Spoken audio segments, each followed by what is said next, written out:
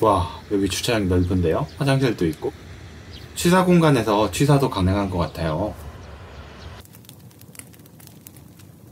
호이 쭈리 여기는 조치원 홈플러스 뒤쪽 부천 연꽃공원입니다. 여기가 조금 복잡해서 영상을 끝까지 보셔야 해요.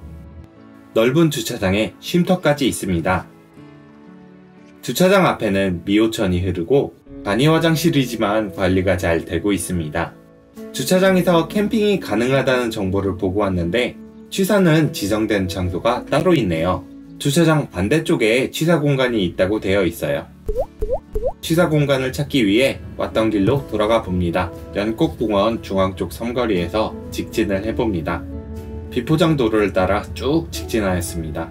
한참을 가다 보니 지도에서 본 화장실이 보이네요. 아래 파고라 두 개가 있는 곳이 취사 공간인 것 같아요. 약도의 연꽃공원 끝자락이었으니까 맞겠죠? 아래로 내려가는 길을 찾기 위해 계속 직진. 혹시 여기까지 따라오셨다면 집중하세요. 여기가 유일하게 차를 돌려 나갈 수 있는 곳입니다. 저는 여기를 그냥 지나쳐 버렸어요.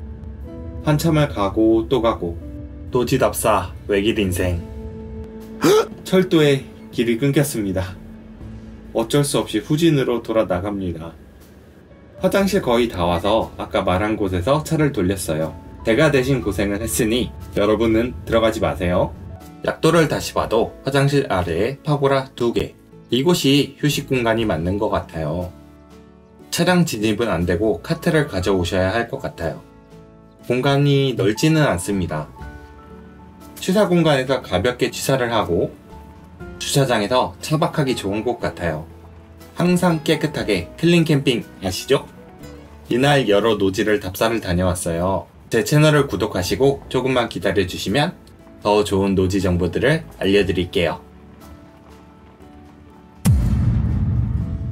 구독과 좋아요 댓글 잊지 마세요